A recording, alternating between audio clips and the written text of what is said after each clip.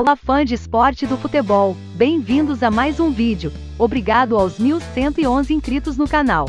Um número só com um, neste momento que produzo este vídeo. Curioso não é mesmo? Pessoal, o YouTube está negando a monetização do canal.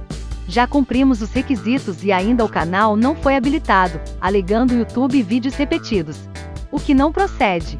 Por isso, peço uma força aos não inscritos. Se inscrevam para que nos incentive na produção e divulgação do conteúdo e façam o YouTube nos habilitar.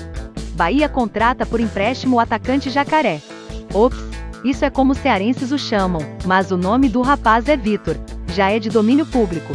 Conforme matéria do site do jornal O Povo do Ceará o Ceará negociou o empréstimo do atacante Jacaré com o Bahia.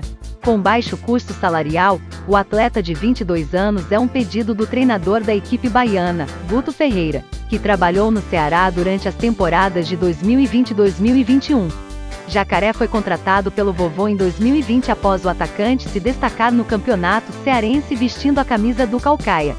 Pelo Ceará, foram nove partidas na equipe sub-23 de aspirantes, com quatro gols marcados, e 19 confrontos atuando com o elenco profissional, pelo qual balançou as redes três vezes, pelos números acima bem modestos.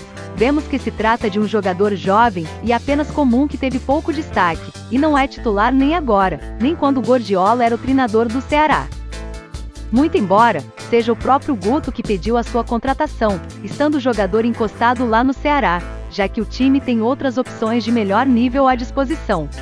Vitor Jacaré, que deve ser como será chamado no Bahia, não deve nutrir grandes expectativas com sua contratação porém, como Rodaiega não tem um substituto e evidente que este está longe de estar à altura.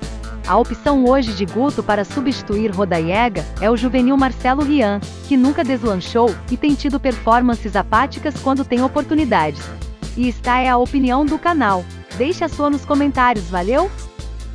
Obrigado por assistir, deixe um like de boa e até o próximo vídeo.